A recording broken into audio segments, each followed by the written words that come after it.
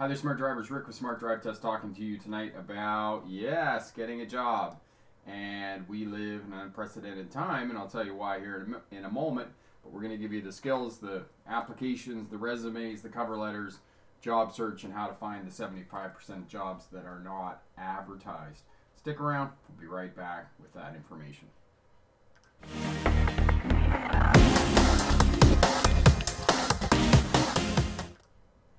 Hi there, smart drivers. Welcome back. Talking to you tonight about how to find a job. And my friend, uh, oh, I can't go to the top anymore. What's going on here? Anyway, Mallory's here. Jim Bob's here. Carlton, Carlta, Carlita is here. Uh, Goose, my friend, job just over broke. Yeah, that's unfortunately for a lot of people who are locked down with COVID and those types of things. That's probably true. Uh, Rocky's here from Windsor, Ontario. It's nice talking to everybody. My friend Sadan was here as well earlier. Uh, is one of the early smart drivers on the channel. He was originally from Russia, I believe it was Siberia, learned English, and then got a job driving truck. That was his goal, to get a job driving truck, and he's driving truck in Eastern Europe. So he was here previously, but I don't see the comment now. All right, so busy week, lots going on. you know, uh, saw a video over on Facebook about brakes failing on cars, and we all know that brakes will not fail on cars because there's backup. There's two backup systems on cars, uh, which kind of annoyed me a little bit. Uh, and Jim Bob wants to be a firefighter uh, when he grows up, and that is very doable. DC is here, my friend, as well. Uh, the reason I said in the introduction that we live in an unprecedented time, and for all of you that are here in the town or city where you live or the area region where you live are they advertising for jobs? Because here where i live they are now advertising for jobs. There's a job posting on just about every storefront as well as there's a lot of places that are now advertising on the radio as well for help. So just let me know down in the comments if that's what they're doing uh, because like i said that's unprecedented in my lifetime. It's never i've never seen that uh, Corey's here. Uh, Corey is uh, Bricks for Wheels. He's the moderator. Corey does an excellent job of keeping out the bad people and putting up uh, videos that I recommend that you have another look at for more detail on whatever questions you're talking about. And my friend Margaret is here from Brooklyn as well. So without further ado, uh, PowerPoint presentation. We'll find that. it's here somewhere. I'm a little slideshow. There we go. I'm going to find the right button. Permaculture, hello my friend, how are you? All right, so getting going here on the presentation, getting a job, you need work, uh, and these, it's not just for truck drivers that I'm talking about, I'm talking about everybody that needs to get a job, uh, because we all need to find jobs in our lifetime. And Margaret says the only job listings here are for DoorDash delivery and Amazon warehouse. Interesting. Uh, KS, I want to be a bus driver or Amazon driver. Okay, that's very doable. And Goose says, I can't wait to get back to teaching as I've worked a total of nine days this year. That is just crazy. Uh, Paco, hi Rick, I just got fired and in need of some money. I only have my phone left. Yeah, definitely. Okay, so hopefully we can help you out. And that's a bit disturbing for Margaret that she's saying that it's only DoorDash delivery and Amazon warehouse that are advertising for jobs. There's lots of places here that are advertising for jobs. But anyway, we'll talk about that in a minute here. Okay, so getting a job. That's what we're talking about resume skills, applications, how to find the 75% of jobs that are not advertised. All right, so those of you who may be new to Smart Drive Test, my name is Rick August. I was a truck driver during the 1990s. Uh, drove from Canada into the United States, mostly east of the Mississippi, but I did make it into Texas and uh, made it to California a couple times, Utah, or not Utah rather, but Washington State and Oregon. So did make it out west a couple of times. The western states, I guess they're called. 2006, I graduated with a doctorate in legal history from the University of Melbourne in Australia. And legal history, for those of you may or may not know, is the study of policing, courts, and prisons. My expertise is in policing as it relates to traffic, oddly enough. While I was going university, going to university, I drove buses for Greyhound and some of the regional bus lines there as well, so I have bus and coach experience. And in 2015, I started the YouTube channel and the online business. and it's been wildly more successful than I ever could have imagined. It's definitely one of those things where dreams happen for sure. And if you want to know more about me and the Smart Drive Test channel, uh, you can check that out over at the Smart Drive Test website, the autobiography over there. And hit the right button here on the keyboard. New video this week driving with a disability. Uh, on a recent trip here during March break, went to Calgary and I caught up with Nelson Chateauneuf. He is the owner of South South Trail Driving School in Calgary, and Nelson has a vehicle that is fitted with hand controls for people with disabilities. He also has a left driving, uh, not a left driving, but a left gas pedal in the vehicle, which is very weird. I've never had one of those before. That's a little bit uh, interesting to get used to, uh, and uh, definitely hand controls and people if you have some sort of disability, you've, you've lost a limb, you're a paraplegic, or uh, had a, suffered a stroke, then this vehicle is for you and this information is for you. And for those of you who, who don't have a disability but want to see how to drive a vehicle with hand controls and those types of things, this is definitely the video you want to definitely have a look at. All right, so head over to the Smart Drive Test website as well. Corey I'll put the link up for you on getting past your driver's test first time checklist. Okay, you can have that. And so, finding a job. What kind of job do you want? This is the first thing you got to kind of sit down and do. What do you want to do? And some years ago, uh, when I was working in London, Ontario in the late 1990s, couldn't find a job, had gone and got my driving instructor's license, but you know, just could not find a job. And I didn't really know what I wanted to do. I didn't need, know that I needed to sort of sit down and really hone in on what I wanted for a job. You know, as a couple of people here said they want to be bus drivers.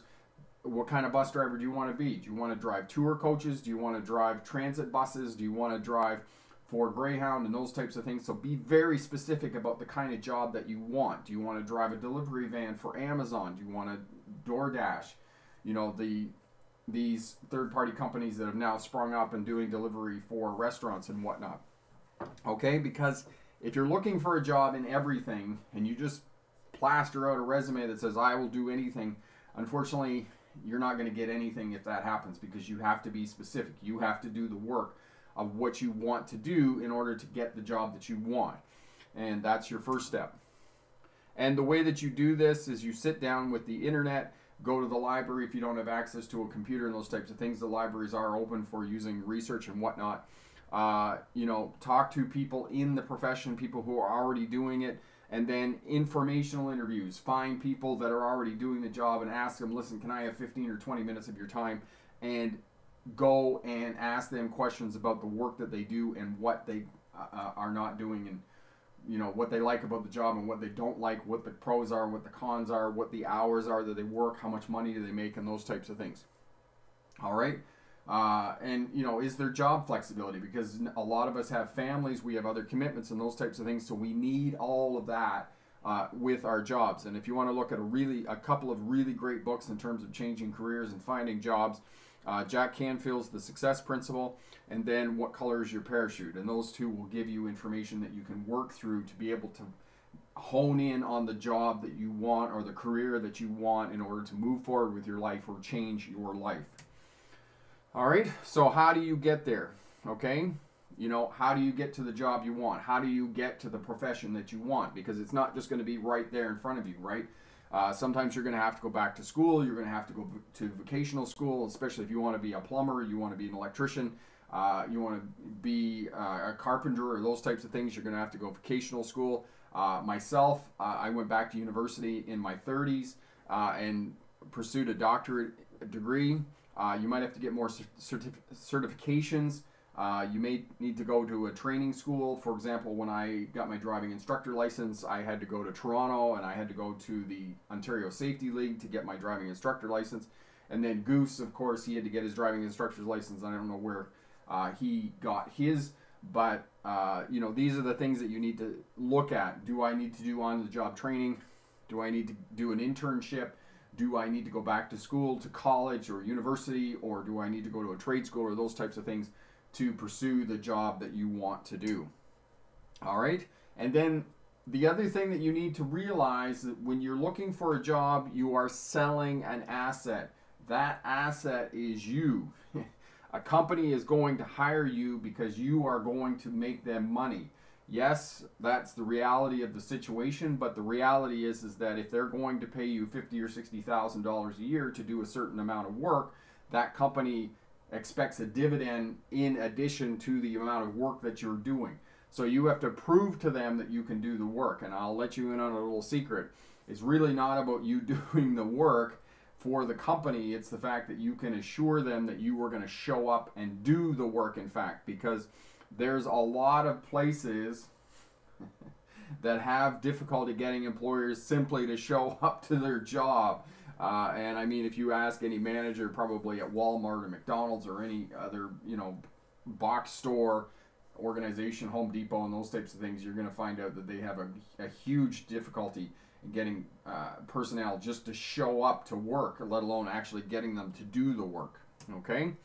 So, where do you find the jobs? After you've figured out what you want to do in terms of your job, then you have to figure out where these jobs are located. And there's lots of places that you can look online, uh, local advertising, uh, advertising boards. Uh, here in where I live, it's Castanet, it's Kijiji, Craigslist. There are job listings on all of these postings. Go to the company website. For example, if you want to work for McDonald's, go to the McDonald's website. If you want to work for Walmart, you go to the Walmart website and look up what job postings they have there. And then the last two are going to really tap into the 75% of jobs that aren't advertised. Networking and cold calling. So you're when you're looking for a job, you talk to everybody that is within your three foot circle. So if, well, obviously right not right now in COVID, but the, your six foot circle, your two meter circle, you talk to those people and you say, listen, I'm looking for a job. I want to be a transit bus driver. Do you know anybody that I can talk to or anybody that might be able to help me out or anybody that's hiring? Okay, you have to be very bold. You have to be very brazen. You have to approach people. You have to talk to people because that's how you're going to get it. You need to uh, do cold calling. Uh, you need to pick up the phone. You need to call people. You need to talk to them. You need to show up at the company, at the business, and you need to knock on the door and you need to talk to these people. I know all of that's going to be much more challenging now that we're living in this world of uh, the pandemic, but you can cold call people, okay? So one of the challenges is going to be getting past the gatekeeper. For example, those of you who want to work for transit companies, you're going to have to talk to the operations manager. The operations manager is the person that's going to be responsible for hiring. And with any other company, whatever other job you want to do, if you want to be a manager at Walmart, you have to get past the gatekeeper. And generally, that's going to be the HR department, the human resources department. You have to get past them because they're not the people that are going to be doing the hiring the manager at the store is probably the person for Walmart that's going to be doing the hiring. You have to figure out who that person is and you have to get in touch with that person.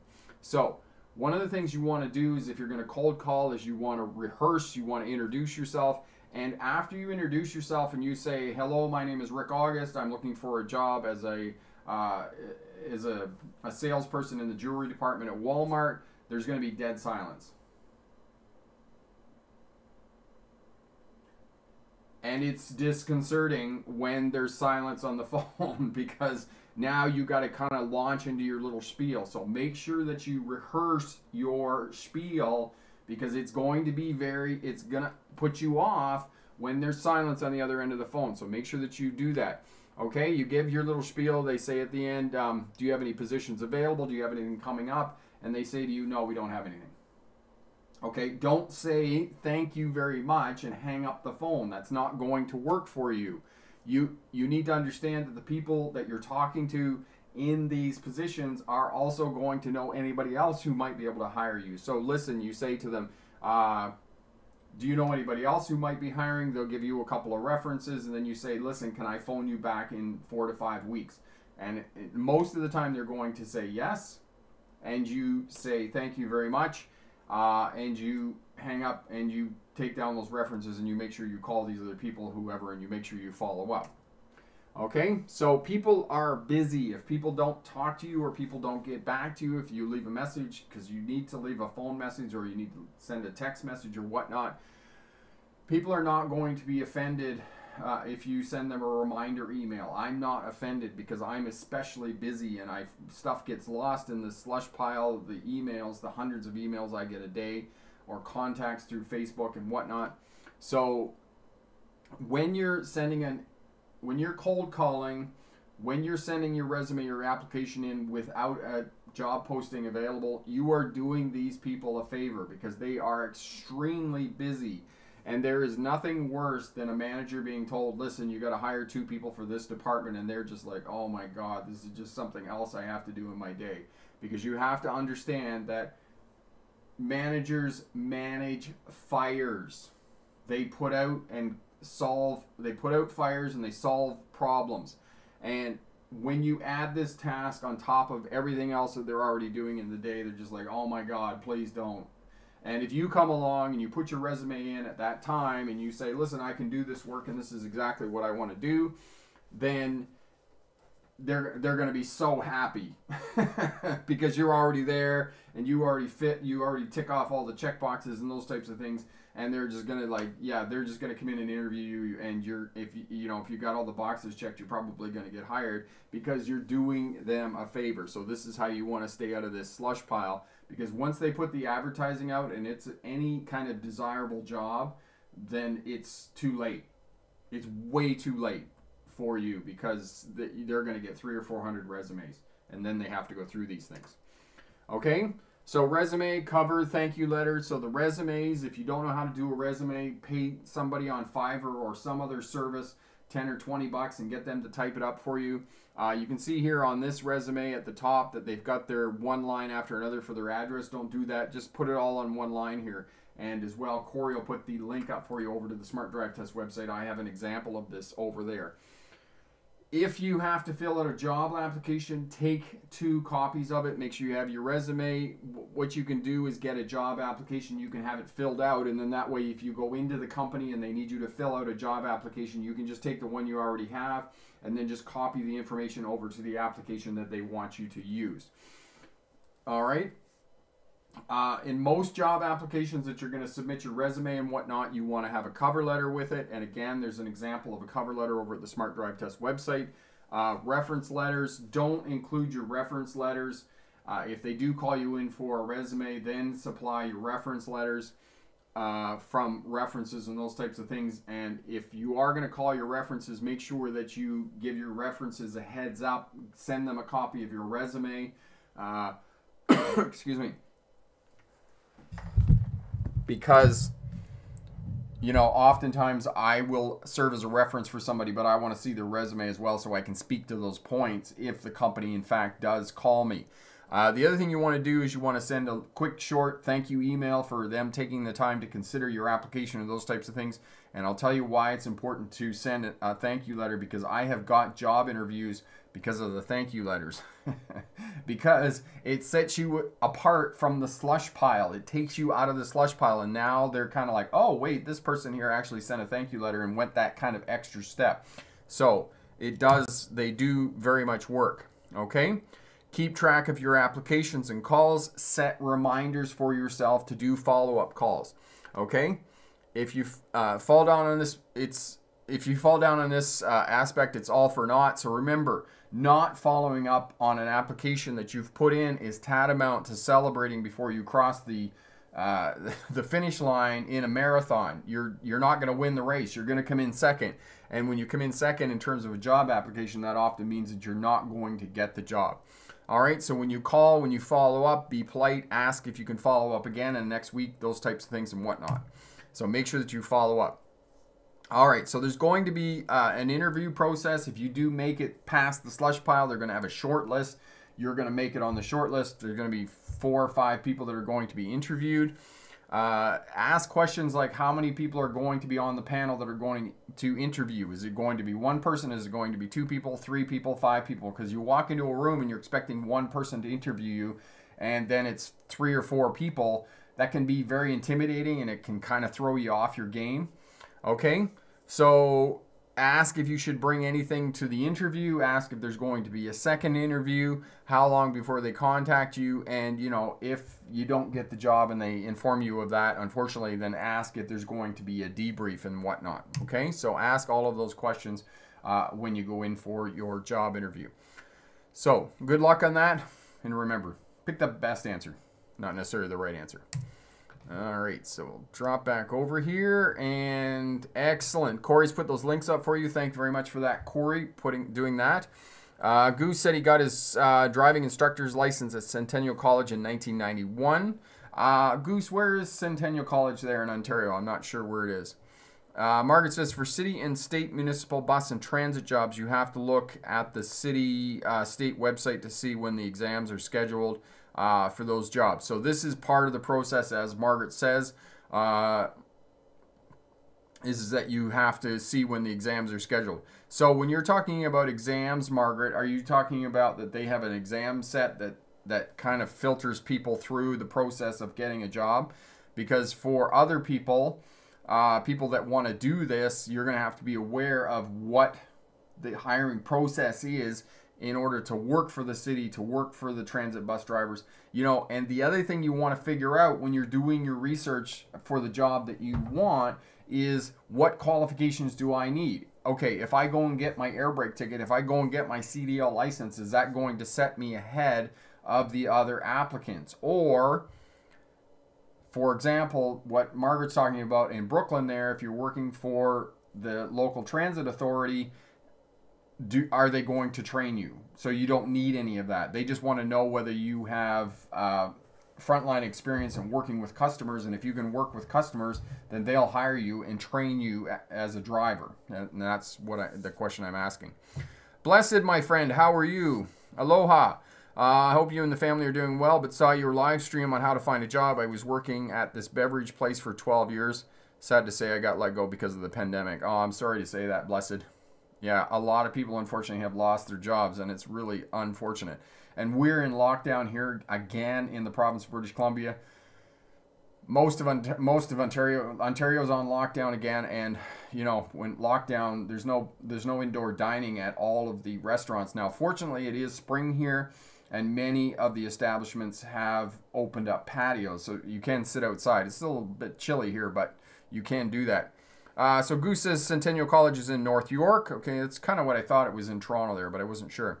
Uh, Margaret's exams for city bus driver, exams for train maintenance, exams for repair technicians. Okay, so I'm assuming Margaret that that's the first step uh, to apply to be uh, to get one of those jobs there uh, in Brooklyn or in New York or the, uh, any of the other boroughs there in the city. Uh, Jim Bob, uh, Rick, I think Centennial College is in uh, no, it's not in Colorado, Jim Bobby. It's, it's actually in Canada there. Goose, I used to hit the yellow pages in cold call business from A to Z. Long time ago, I ended up getting a job uh, in the T category. LO persistence pays off, and that and that's very true, Goose. Uh, it's the same thing, you know. There's a few things in my life, courses that I've taken that have been lifelong uh, skills that I've used through my life, and you know uh, one of them was learning how to type, taking typing in high school. Don't ask me why I took typing for three years. Uh, it wasn't called typing at that time. It was called, you know, secretarial. By the time you got to grade 11, it was secretarial. N- little did I know that I would spend my whole life on a computer keyboarding every day. Uh, the second one was how to find a job. You know, I was out of work in the late 1990s. I just got my driving instructor's license, which is weird in Ontario because you become certified to teach people how to drive truck but you are licensed to teach people how to drive a car. And because I did it backwards and got my certification to teach people how to drive truck, I couldn't get a job because I was only certified. I wasn't licensed as a driving instructor, which I found out later and then went back and got my, my license. So finding this job, and I was in London, Ontario, and it was one of the community services, uh, you know, social services that teach you how to find jobs and have job boards and those types of things. And I signed up for this and it was a eight week course. You had to show up every day from nine to five. You had to dress up, you know, and you went in, and there was motivational stuff. This Jack Canfield stuff. This this was, and you know, this was the late 1990s, so this was, uh, 25 years ago now. And you know, Jack Canfield was there and was telling his motivational stories, and was like, "Yeah, this is really awesome." and uh, you know, we we learned how to do resumes, we learned how to do cover letters. They showed us how to do cold calling. And one of the things you had to do every day was you had to spend an hour and a half as part of the course on the phone making cold calls. And I was making cold calls to all these trucking companies and transit authorities and those types of things, looking for a job as a safety officer because at that time that's what I wanted to do work as a safety officer. And of course, you know, on the list came up the London Transit Authority and called the London Transit Authority thinking, you know, this probably isn't going to work out like so many things as as Goose said, you know, it's persistence. You get a job in the T's, right? And uh, called them up. And the other thing that you do when you're looking for a job is when you call them up and you say blah blah blah, you say, "Listen, can I drop my resume off?" And they'll say, "Yes, you can." And okay, so who am I going to drop my resume off? And you know, it was Tom Smith. He was the operations manager. So I, I get dressed up. I go down to the London Transit Authority. He's in a meeting, and so I said to the uh, the receptionist behind the counter, I said, "Listen, can I wait?" I waited two and a half hours for Mr. Smith to come out to give him my resume. You know, had the little two minute, you know, kind of mini interview. Uh, talked to him, said, you know, this is what I'm doing, this is who I am. And uh, they called me up the next day and said, listen, we've got some work we would like you to do. Uh, it was the time in the late 1980s when the low floor buses were coming in for people with disabilities, people in wheelchairs, and those types of things.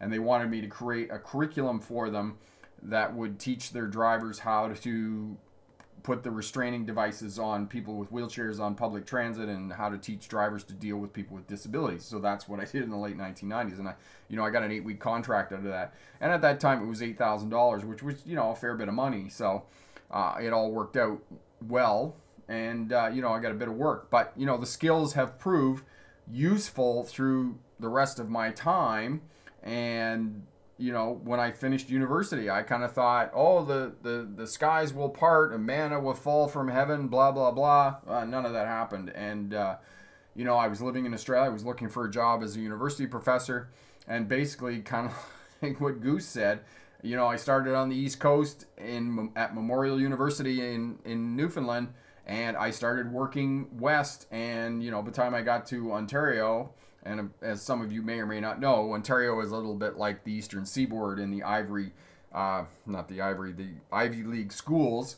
Uh, there's a lot of universities in Ontario. It's a it's a big province. 12 million people live in Ontario. It's you know not anything compared to California or Texas, but there's a lot of universities there. And finally, I got to one of the universities. Was talking to the chair of the history department, and uh, sent him my resume and those sorts of things. And he sent me an email next day of a job posting here in British Columbia, and he said, "Oh, you might be interested in this." And I got a job in British Columbia here, teaching at one of the universities here. So you got to be persistent, and you just keep going through the alphabet looking for a job. So that's the other the other important point of all of that is is that before you hang up the phone, you say to the person on the phone, "Can I?" Drop off my resume and it's a two minute mini interview that you're going to get because you're dressed up, you hand them your resume, you talk to them, you do that little bit of small talk, you tell them this is what I'm doing, uh, this is the kind of work that I'm looking for, and you know it puts a face to your resume. Uh, and I know that's a little bit tougher now with COVID and those types of things, but there's ways of doing it. You know, uh, you know, create a web page, you know, make a video. post it on all your social media accounts. Uh, put it, put a link to it on your resume so that they can see you and they can get a face, right? Because uh, let me tell you, if I'm interested in, a, you know, I get a PDF and it's got a hyperlink on it that goes to a video of who you are and what you do and the kind of work that you've done, and you do kind of a little visual uh, on who you are as a person and selling yourself. That's really, really going to set you out from the crowd. Okay. Uh, Mallory, I got my job at Shoppers Drug Mart in October 2006. I'm not working right now due to the pandemic. I've been off work for almost 13 or almost 14 months. Yeah, and I'm sorry to hear that, Mallory. That's just really tough for a lot of people for sure. Uh, yeah, and as Goose said, yeah, definitely stand out, and that's definitely what you want to do, right? And uh, Jay, hey, how are you? You're not really late, my friend. Always good to see you. Okay, uh, Rocky. Uh, I thought cold calling only in the winter would mean like silence, technical difficulties due to the winter, other things like that. Would that be right or no? Uh, Rocky, no, that's not that's not right. Right. Cold calling means that you just call somebody up and you start talking to them on the phone about finding a job. And as I said to you, uh, you know, as soon as you say who you are and what you're on the phone for, you say, I'm looking for a job as a cashier at Walmart, uh, there, there is probably going to be silence on the other end of the phone. It's the same thing for truck drivers, CDL drivers who are looking for work as a new driver. If you call up a trucking company and you say, listen, I just got my license from uh, truck driving school, I want to get a job as a truck driver, I want to run long haul, there's going to be silence on the other end of the phone. They're, they want to know who you are. They want to know what your transferable skills are.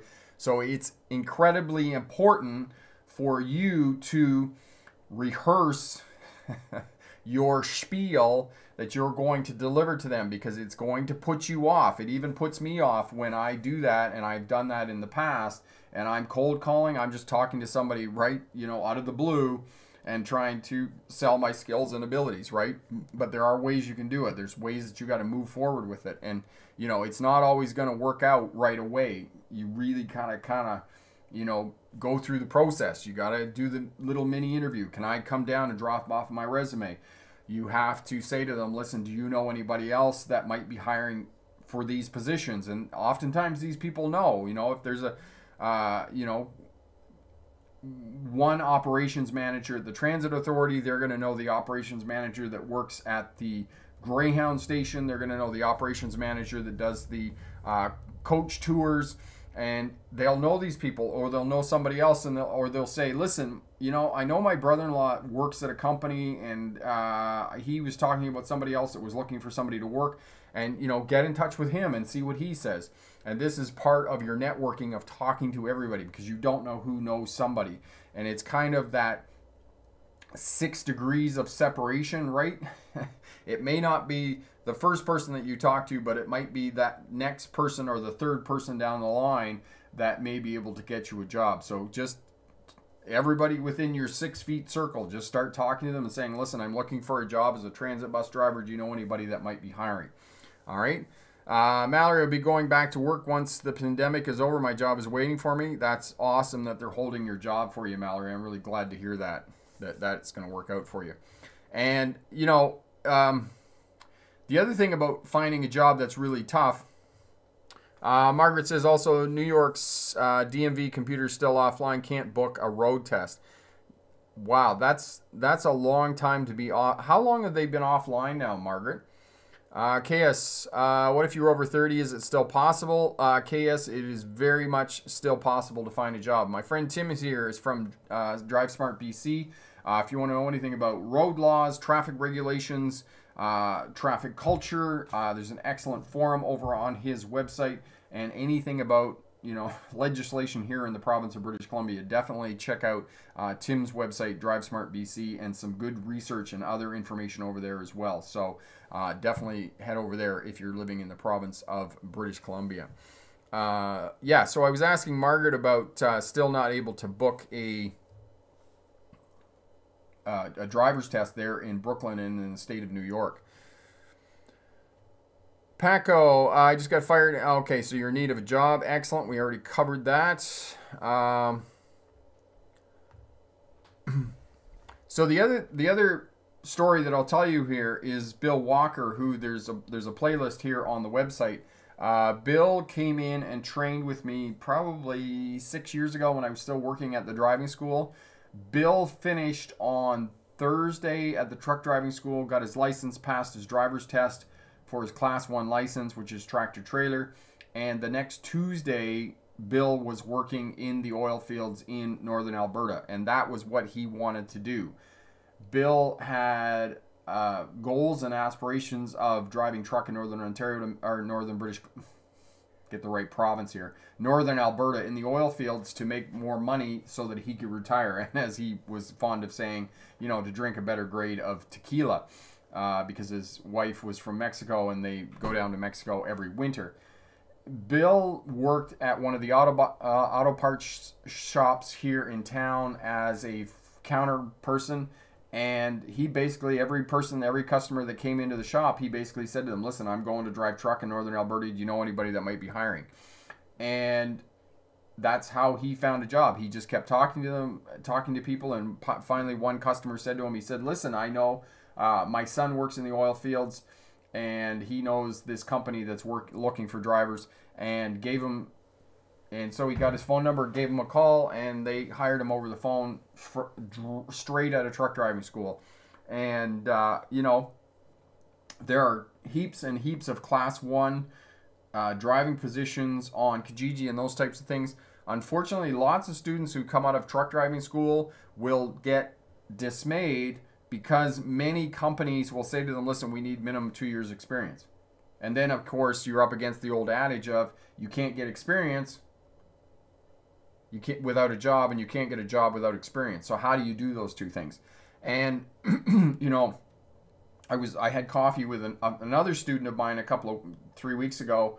Same thing. He said, you know, I had to put in my dues. I couldn't get a job driving a logging truck, which now he he drives a logging truck, Al, and he said, you know, you had to go in, you had to drive a box truck, you had to drive a garbage truck, you had to drive a dump truck in the summertime, doing whatever you could to get a job as a CDL driver, because these companies will not hire you straight out of truck driving school.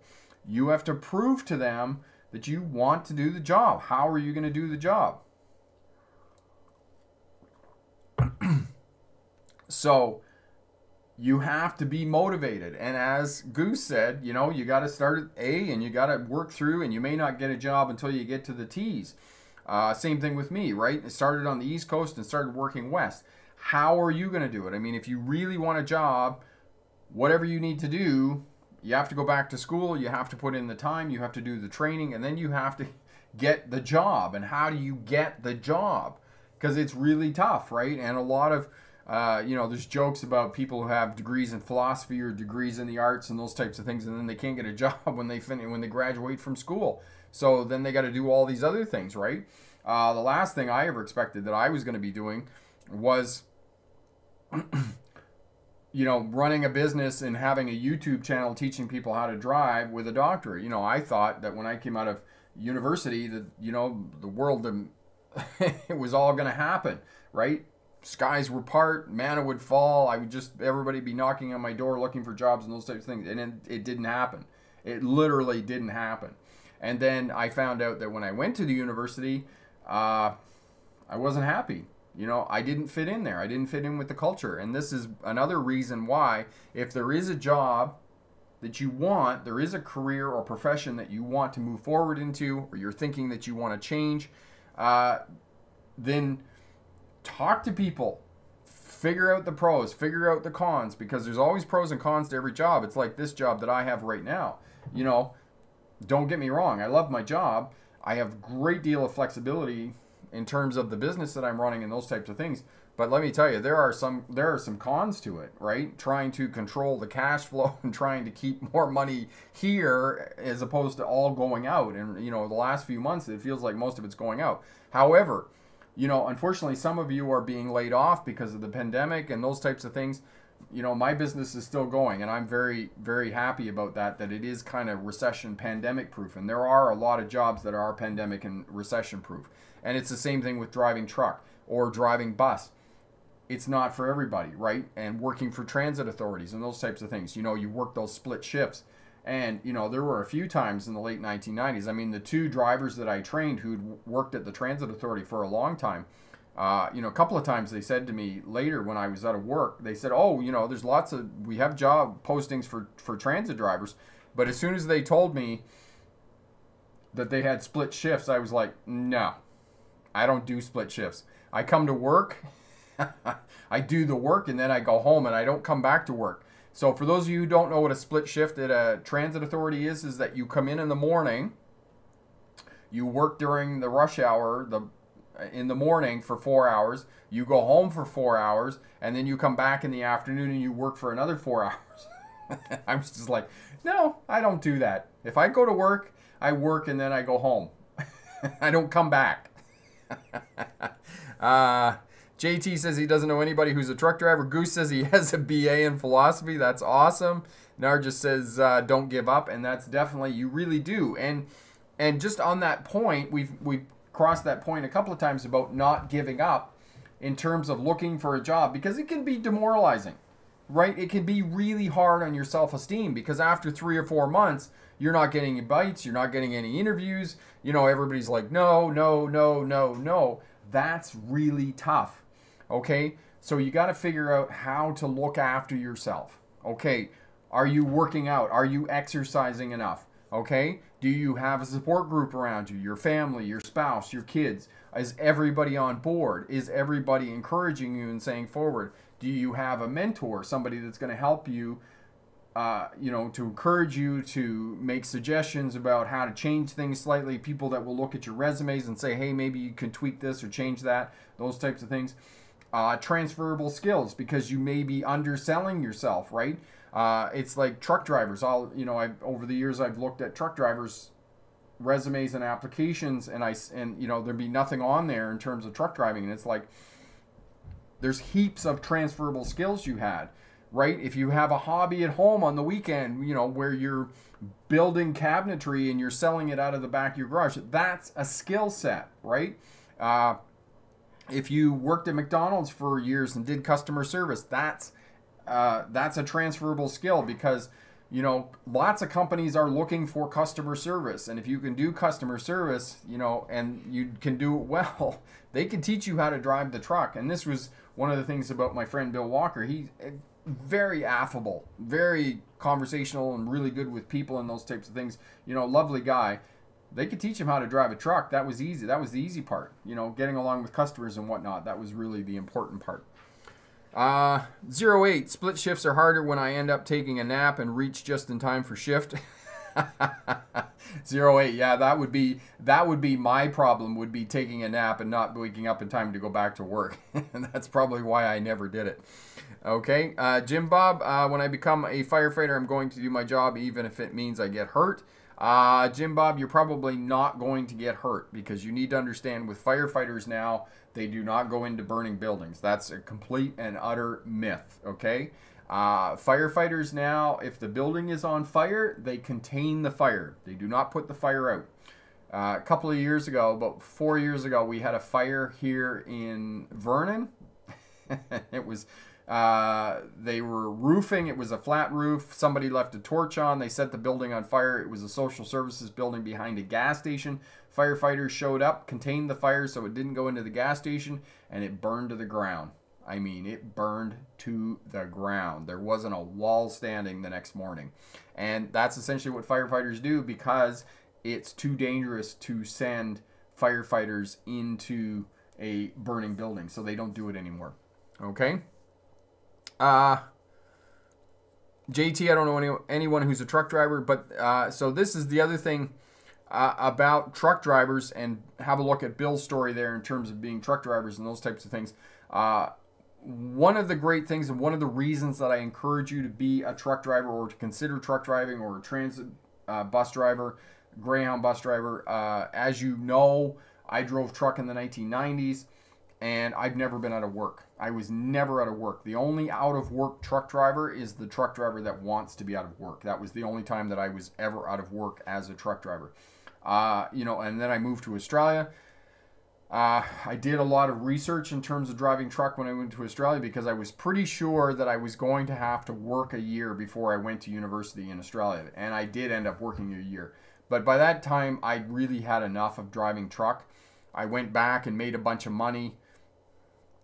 Uh, you're most welcome, Tim. Have a great night. Enjoy, enjoy your pasta, my friend. Uh, so I did a lot of research, uh, and when I left here in the late 1990s, I went back driving truck to make a bit of money before I left for Australia, and I was making 32 cents a mile, which you know was pretty decent money, especially if you were really humping, which I was.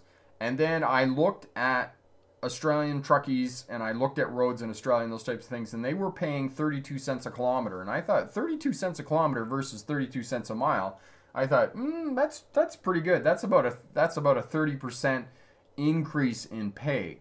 And then of course I started really digging into it, and then I realized uh, you have to realize that I was running in the U.S. I'm running on interstates, and you can run on interstates for ten or twenty hours, never never come off cruise on an interstate in the U.S. Uh, and uh, you can't do that in Australia. It's all two lane, what we call two lane skinnies. Uh, up and down and around and through and up and down through towns and those types of things. And I realized very quickly that you know 32 cents a kilometer, you are not going to make a lot of miles in a day uh, driving in Australia. So I didn't. So I went off and drove coaches for a while, and it was a very interesting experience driving for Greyhound. It was a different learning experience. And I can remember when I first started driving coaches, the first couple of weeks, it was really hard driving on a schedule where you left one place and you had to be at another place exactly three hours and 15 minutes later. That was really tough, uh, especially when you're running overnight, uh, you know, through the night. And you know, there were there were quite a number of nights that I'd be stopping in rest areas, and everybody, 55 people, you know, 50 people behind me, all sleeping, and I would get off the bus and run around the bus to try and stay awake. and uh, you know, you didn't do that in a big truck. In a big truck, you know, if you had to stop and get a bit of kip, uh, you just climb in the bunk, get a, two hours of sleep, and then wake up and then carry on with your life. But you couldn't do that in the bus. You really had to, you know, keep to that schedule, which was a bit uh, a bit challenging in the first three or four weeks before I became acclimatized to it and could really do it. All right, uh, Jim Bob. I've been watching videos from a YouTube channel called Firefighter Now, and uh, Jim Bob, I'd be interested to see that. Uh, are they, Jim Bob? Are they telling you that they're going into into fires and those types of things? Farron, my friend.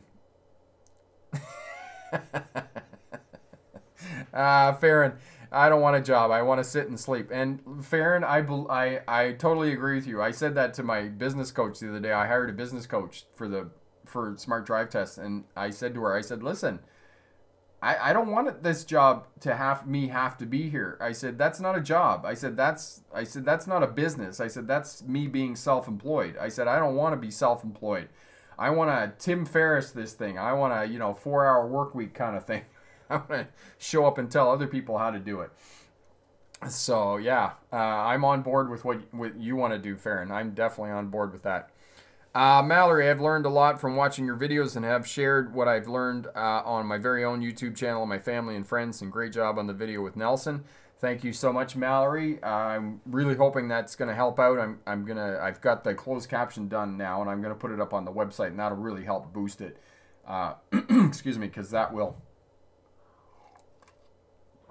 help to get it uh, found in Google as well as just in YouTube as well. Because some of you may or may not know that YouTube is a search engine which is separate from Google, which is interesting because Google owns YouTube. but YouTube and Google are separate search engines, which is which is interesting, right? Uh, enjoy the decline. Hey Rick, I failed my driving test. I feel like I let you down personally. Uh, decline you did not let me down in any any way shape or form my friend okay? Remember fail just means first attempt in learning all right? So you know what you need to do and you're gonna i'm very confident you're gonna get it next time. So you didn't let me down my friend not at all okay? So just keep going and you're gonna get your license and if you need any help at all or you have any questions whatsoever about passing your driver's test let me know and i'll definitely help you out. Uh, jt work at a mattress store do so JT you you do work at a mattress store or you're suggesting that we work at a mattress store? Uh, Alder you passed your driving test as well. That's awesome. Uh, that's really great. Congratulations on that. Uh, what did you do to celebrate my friend? Jim Bob when should you be signaling that you're about to turn at an intersection? Uh, Jim Bob you should be signaling approximately half a block before the turn. So mirror signal shoulder check, check approximately half half a block before the turn uh, Goose, when do you, when you do what you love, it's not work. And Goose, that's very true.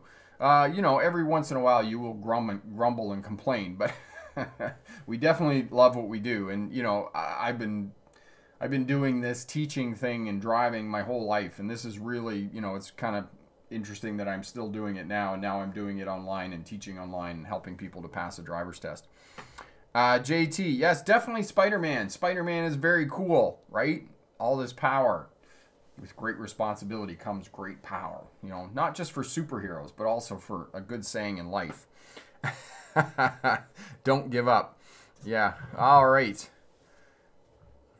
So, uh, Jim Bob, you didn't tell me about the firefighter channel. I wanted to know whether they went into the buildings on that channel or not.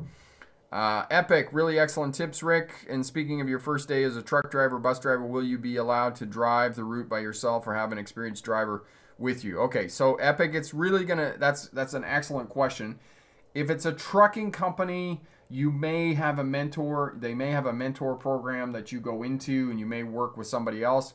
If you're in a, if you're going to work for a transit bus authority, a transit authority so, you know, if you're working in New York City and it's, you know, subways or buses or those types of things, you are definitely going to go through a training program. All of these city transit authorities all have training programs. You're going to have to go through the training program, and the training program is probably going to be anywhere between uh, six to 12 weeks, depending on the different authorities. And I know with the, the London Transit Authority that I worked with, uh, their training program, I think, was four to six weeks uh, depending on the driver, and you went out and they worked with you on all the routes and those types of things. Now, you know, driving bus is a little bit different, and the same thing when I worked for Greyhound in Australia.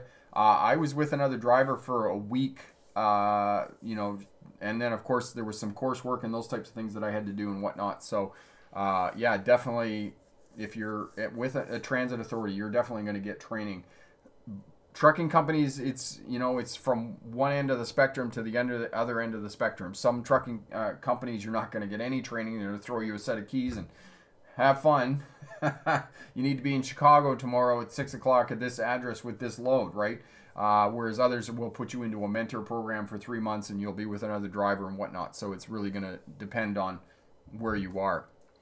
Okay uh, Rocky, I watched your video of personal protective equipment. I liked it, and I still do. Your video was so awesome.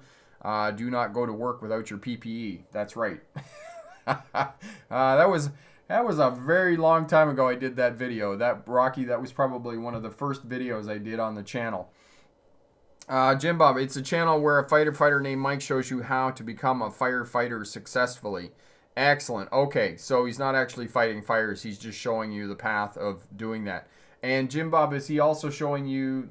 Because uh, I know that some of the firefighters that I've trained to get their Class 3 license here in British Columbia and other places, they go to a training facility in Texas. Is is that one of the places that he's uh, showing you to do that? Okay, and there's another video to check out as well. Corey's put up there. Thanks for that, Corey. So awesome. So getting a job and as I was saying previously about making sure that you have a support network around you, that you're eating well, uh, that you're showing up, uh, you know, get up in the morning, shave, comb your hair, put on nice clothes, those types of things. I was being very careful there about not saying put on your makeup because Margaret's here and we know how that that is. So just do your hair, comb your hair. you don't have to do your hair you know, but you gotta, you got, you can't, if you start showing up in track pants or pajamas, you know, like some people on Zoom meetings now, you know, they're looking nice on the top and they're wearing track pants and those types of things. Yeah, okay, that's all cool and whatnot, but you, you got to figure out how to do this long term because it's not a sprint. You know, you may luck out and get a job in two weeks, but the the re, the likelihood is that you're not going to find a job in two weeks you have to follow up. You have to make a lot of calls. You have to put in resumes. Resumes have to be tailored for the company that you're going to be applying for and those types of things because it's it's tough and it's a lot of work and it's it can be, you know, because I've done this and I've got into, you know, been unemployed for 6 months and looking for work and applying for a job and uh, it's it's it's a bummer. And it's after 6 months, it's really tough to keep going and really find that energy to keep yourself going. So you don't you gotta um, um, you got to have that support network around you and you got to have that ability to have that mental health okay? Margaret you can get into trouble for telling a prospective employee to wear makeup. I bet you you can margaret and i would never go there. But you know we can we can dance around and joke about it and those types of things uh, JT, I don't, uh, you don't get the makeup joke. Yeah, Margaret doesn't wear makeup, and I've I've said a couple of times to get up and put your makeup on, and Margaret's told me that she doesn't wear makeup. we'll just leave it at that. no, no, Margaret, that's not true at all. There's lots of women who don't wear makeup, and then on the other hand, there's some men who do wear makeup. So we'll, you know, we'll just leave it there. Uh, and Jim Bob said the facility is called a uh, Fire Academy. Okay, excellent. Uh, Khaled, uh, any tips to improve resume? Yes, definitely. Have a look at uh, the example of my resume over on the Smart Drive Test website. And uh, Corey's put that link up for you. I think if Corey, could you just stick that link up again? That would be really great. Okay. Uh, Andre, hey Rick, do you have a video on squeezing through double parked cars? I feel more comfortable passing cars uh, in my school bus than regular cars. I think it's just due to the familiarity, though. Okay, yeah, and it, Andre, if you're doing it in a school bus, then you're just going to do it in your car. It's just a matter of slowing down so that you have enough time to observe, maneuver the vehicle, and to you know avoid if something goes wrong, right? And uh, so have a look at all of that. So Corey's put up the uh, the link for the resume and cover letter that you can have a look at that. So Goose says my wife doesn't wear makeup either. So there you go. So Goose's wife, Margaret, doesn't wear makeup, and I'm sure there's a ton of other. I'm just I'm on a slippery slope here, and I'm just gonna stop. uh, Epic. Uh, speaking of some transit agency, they do have an in-house CDL school for prospective bus drivers. One of those is the New Jersey Transit Network uh, Newark, New Jersey, regarding bus driver school. Should I do that or CDL? Uh, Epic, I would probably suggest and counsel you to start with the school bus thing, and then if you wanted to move up from the school bus thing, then you could pursue the truck driving after that. But the great thing about most bus companies, as opposed to most trucking companies, most bus companies will train you and give you training, which is a really good thing in terms of uh, learning how to drive CDL vehicles. Uh, Jim Bob, do emergency vehicles have to stop for school buses? Uh, yes, they do, Jim Bob, if they're not responding to an emergency. Now, if they were responding to an emergency, then the emergency vehicle, obviously, you know, lights and sirens are only requests for right of way. So, you know, obviously, if there's a bus with lights flashing and, you know, children are getting off or passengers are getting off, because they're not always children, they can be teenagers too uh, then obviously the bus, the, the emergency vehicle would have to give way to the bus because there's there's a, a high probability that there would be a crash and there would be pedestrian fatality. So you know that's really something that would have to you kind of figure out in the moment, right? Uh, Kenji, I drive security patrol at night. Awesome. And uh, how is you're still working with the pandemic and those types of things? Uh, Margaret for NYC jobs. Check the uh, Transforms website. They post info about exams and training. Excellent. So there's lots of places there. Uh, see, there we go. Now Margaret started a whole movement with this this makeup. So we got Goose's wife, Janet doesn't wear makeup, Margaret doesn't wear makeup, and you know that's that's awesome. And I'm gonna, like I said, I'm on a slippery slope, and I'm just gonna leave all this alone. Excellent. Uh, and JT thinks that lotion is technically makeup. I, I don't know. I, I, I don't know, but you know, we all need a bit of moisturizer. So, excellent. So, looking for a job. If you're looking for a job, follow some of these tips and techniques. Uh, go to some of the community social services in and around your neighborhood and towns. They will have. Uh, job boards up. They'll have people there that will be able to look at your resume, give you information about writing cover letters, uh, filling out applications, and those types of things, and help you with all of that. And there we go. See, Mallory doesn't wear makeup either. So we've got like four, half a dozen people here who don't wear makeup. Okay, so all of that. Uh, Abassi, it's going well. Thank you so much. We're just wrapping up for the night. Uh, if you have any questions about finding a job, a driving job, starting a CDL career, uh, drop me a note down in the comments there. Send me an email, rick at smartdrivetest.com. We'll help you out. Uh, if you have a test coming up this week, good luck on that. And if you passed your driver's test in the last week or so, congratulations on that. And remember, pick the best answer, not necessarily the right answer. Don't go right now because somebody's like here being weird. yeah. I am so annoying. Okay. Excellent. Yes, you are annoying. Oh, yeah. And you just took your nose off on the back of my head. on my chin. I'm gonna break my chin again. Okay, you don't. I'm gonna break my chin. I'm gonna break my chin again. All right, there you go. Okay, I think I'm. I think you took me out there. It's a good thing you didn't. I didn't pass out. I think I'm gonna break my chin again. Ah, I already broke my chin. Yeah, you broke your chin on the back of my head, my hard head. That's second time. Okay. Bye. Bye, everybody. Have a heart attack. Have a great night. All the best. We'll talk to you soon.